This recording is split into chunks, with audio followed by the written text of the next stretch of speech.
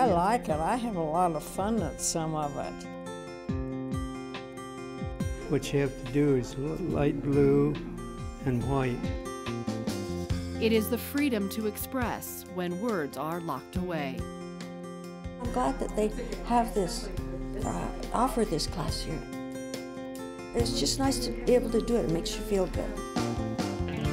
With each stroke, life's stories, life's memories are revealed. We're really trying to preserve a story and see if we can find out something that is, you know, on the brink of being lost and really trying to preserve something.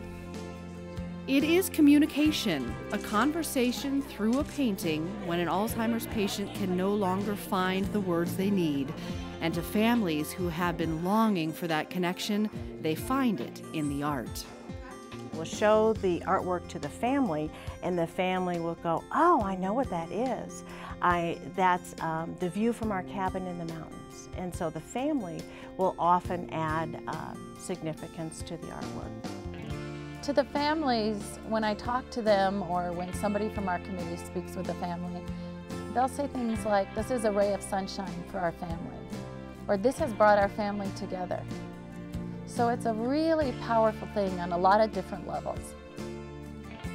They're able to see that they're still there and there's still really positive things that are happening in their life and that is really wonderful to see and wonderful to give to the families. The Alzheimer's Association Memories in the Making art program gives hope to people living with Alzheimer's and their families all over Colorado.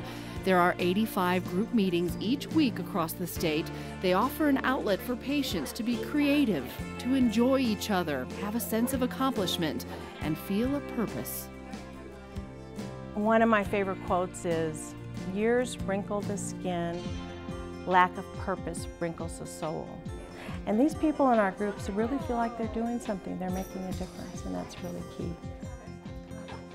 They're making a difference at a time when they're not able to do a lot of other things.